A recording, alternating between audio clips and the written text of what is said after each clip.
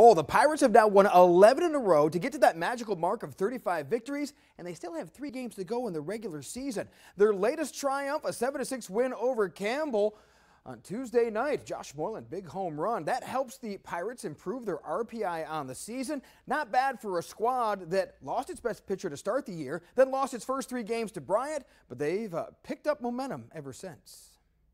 This team's been through more than any team I've ever coached. Uh, and handled it and kept their head above water. Of course, in 17, we went through a lot of stuff. We just didn't manage it very well. And I mean, that falls on me. But this group right here has stuck together and played as a unit and been selfless.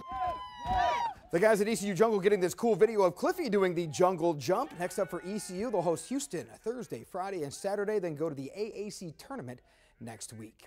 The high school softball playoffs down to the state quarterfinals. Beargrass Charter had a walk-off win against Chatham Central thanks to Streets.nation for sharing his video of that wild pitch game winner. The top-seeded Bears survive and advance. Next up, we'll take on Northside of Beaufort County in the 1A East Regional Semifinals Friday. Here are the rest of the area teams that will play in the quarterfinals. In 2A, South Lenoir will host Roanoke Rapids Thursday night, while undefeated Washington will host Camden County Friday at 6.30. And in 4A, top seed D.H. Conley hosting Clayton at 6 Friday. Baseball rival South Central and J.H. Rose will meet in Greenville with a winner-take-all game that will be at Guy Smith Stadium, 7 o'clock. The winner will advance to take on the winner of West Carteret and South Brunswick. Congratulations to Rob Maloney, the former D.H. Conley basketball coach, being named the new athletic director for all of Pitt County schools.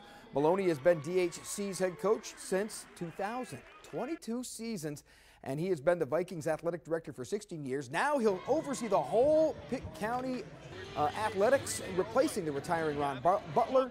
But we're going to miss Robbie on the sidelines, one of the best basketball coaches around.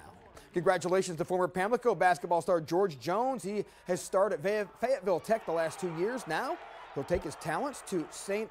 Augustine's in Raleigh for his final two seasons of college eligibility. In the NBA, the Eastern Conference Finals started last night with former north side of Beaufort County star Bam Adebayo in the Heat beating the Celtics 118 to 107. Bam 10 points, 4 rebounds, but this big block spurred the Heat to a big third quarter. You know, plays like that can change a game. You know, you, you see a guy do some a crazy block like that, and uh, you know the energy gets into the crowd. Um, you know,